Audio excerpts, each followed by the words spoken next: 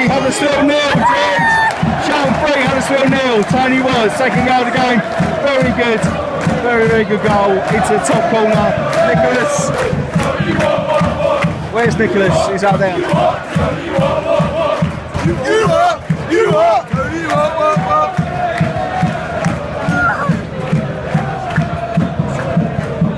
The heady heights of 2 3 0 Oh no! back to back home wins.